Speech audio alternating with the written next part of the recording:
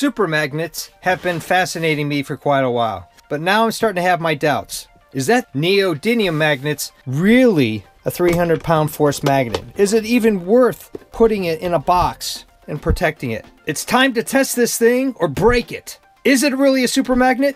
Let's find out. Here we go. For this test, we're going to use this luggage carrier that I've verified does about 60 pounds. I have no idea how much a manhole cover weighs. You'll see the paper plate. The whole idea of that is to help it so I can slide it off. Super magnets are about being vertical. Any sideward force, we it's just not verified for that number of pounds. So let's give it a shot and see how it goes. Super magnet against manhole cover. Pulling. Okay, I'm reading 71 pounds. So 71 pounds worth, good to go. I've mounted the super magnet onto a steel plate onto my climbing wall. Four screws, just like that. Let's go over the test rig. It's climbing gear. This is so that folks have something to hold on to. Thousand pound webbing. The stand is just simple. It has a carabiner, an eye hook. It's a bucket top with a piece of plywood and an eye bolt that goes through like that. And just made sure I it was laying flat, not on the screws. So I got it close and then it just tracked ready for testing.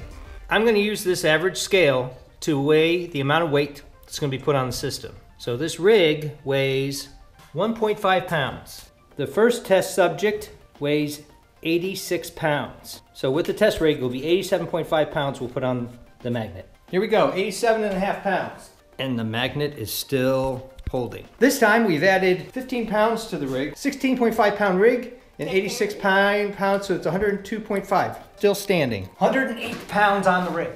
Holding at 108 pounds.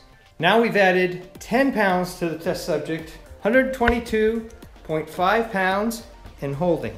I sense we're entering dangerous territory, so I have our test subject wearing a helmet and we have a crash pad just in case. 127.5 pounds.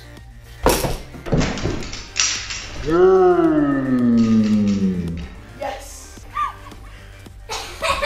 Did I get a 350 pound force neodymium magnet? This one doesn't qualify based on the test we just ran. I was getting ready to wrap up the video and quite frankly I was very disappointed because the magnet was failing and it was supposed to be a 350 pound magnet. So I went back and looked at the specs on how they tested it and they tested it not with one sheet of steel, but the equivalent of half an inch of steel. So I went out and I drilled a whole bunch more of these plates to truly give this a valid test. And as soon as I put the magnet on it, I could tell there's a big difference. I've redone the test rig, added another bucket top to it to make it a little more stable, put the wood inside, and a couple more carabiners for folks to hang on to. The test rig itself weighs two pounds.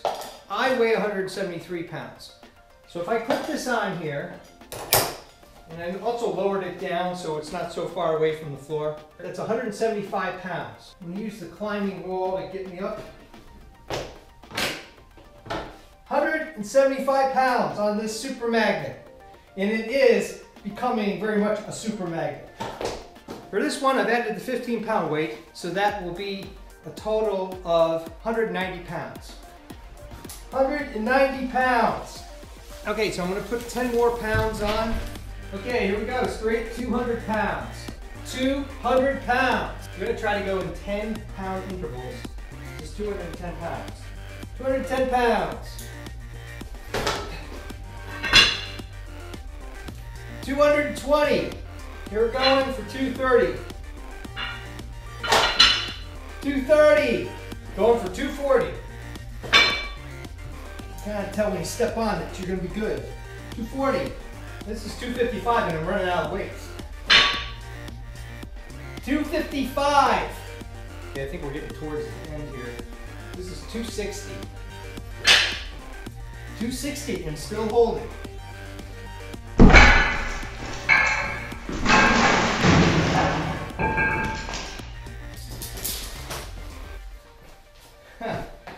Two sixty is where it broke. Based on half inch steel plate, which is how they test these things out, my 350 pound magnet Tested out at 260 pounds. Do I feel ripped off? Not as bad as I did when it died with one layer of steel and two uh, 127. Thumbs up and comments always appreciated. Thanks for watching.